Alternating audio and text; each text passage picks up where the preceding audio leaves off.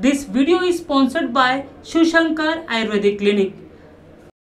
खर्डा येथे नवीन पोलीस ठाणे मंजूर झाले. महाराष्ट्र शासनाच्या गृह विभागाने जामखेड तालुक्यातील खर्डा येथे नव्याने स्वतंत्र पोलीस ठाण्यासाठी नुकतीच परवानगी दिली. या निर्णयामुळे गुन्हेगारीला आळा घालण्यासाठी मदत होईल. खर्डा येथे स्वतंत्र पोलीस ठाणे व्हावे यासाठी आमदार रोहित पवार सतत पाठपुरावा करत होते. तसेच निवडणुकीच्या काळात त्यांनी या संदर्भात जनतेला शब्द देखील दिला होता. त्यांनी तो खरा करून दाखवला. ग्रामस्थांनी या एकमेकांना पेढे भरून जल्लोष साजरा केला. यावेळी उपस्थित कार्यकर्ते माननीय विजयसिंग गोलेकर महालिंग कोरे सुनीलदादा साळुंके चंद्रकांत गोलेकर श्रीकांत लोखंडे संतोष गुरसाडी दादा जावळे संतोष लष्करे शशिकांत गुरसाडी आदी मान्यवर उपस्थित होते. कर्जत जामखेडचे लोकप्रिय आमदार रोहितदादा पवार यांच्या प्रयत्नातून जामखेड तालुक्यातील सर्वात मोठी बाजारपेठ असणारं खर्डागाव या ठिकाणी पोलीस स्टेशनची अत्यंत आवश आवश्यकता पाहून दादांच्या प्रयत्नामुळं हा पोलीस स्टेशनचा प्रश्न मार्गी लागला.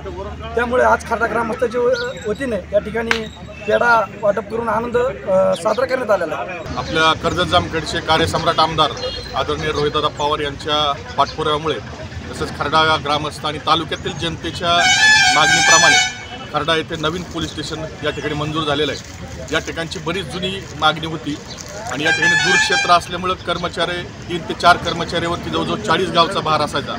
आणि त्यामुळं कायदा सुव्यवस्था प्रश्न निर्माण व्हायचे. रात्री इथं कोणी कर्मचारी पोलीस कर्मचारी नसल्यामुळं बऱ्याच वेळा या ठिकाणी कायदा सुव्यवस्थेचा प्रश्न निर्माण व्हायचा.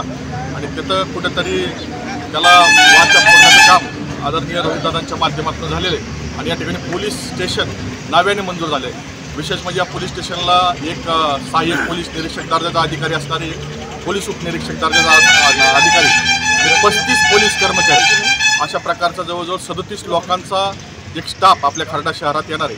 त्याच्यामुळे खऱ्या अर्थानं खरडा शहराच्या सर्वांगीण विकासाला सुद्धा हा ब- सगळा महत्त्वाचा विषय राहणार आहे. या ठिकाणी आपण पाठीमागे आपली जी पोलीस स्टेशन जुनी इमारत आहे त्या ठिकाणी पोलीस स्टेशनचं ऑफिसचं काम आणि त्यांचे क्वार्टर्स वगैरे त्या- त्याचा त्याला सुद्धा ग्रामपंचायतीच्या वतीने वेगळीकडे जागा देण्यात आलेली आहे. त्याच्यामुळे एक पस्तीस ते जवळजवळ सदतीस लोक नवीन सरकारी अधिकारी या ठिकाणी येणार असल्यामुळे आपल्या बाजारपेठेला या ठिकाणी चालना भेटणार. जवळजवळ चाळीस गावाचं ते पोलीस स्टेशन असणार आहे. त्यामुळे लोकांना तक्रारी द्यायला किंवा सा कायदा सुव्यवस्था व्यवस्थित ठेवायला याची मदत निश्चितपणे होणार आहे. मी सर्व खरडा ग्रामस्थ आणि परिसरातल्या सर्व ग्रामस्थांच्या वतीने आदरणीय आमदार रोहिदास पवार यांचे आभार मानतो. धन्यवाद देतो.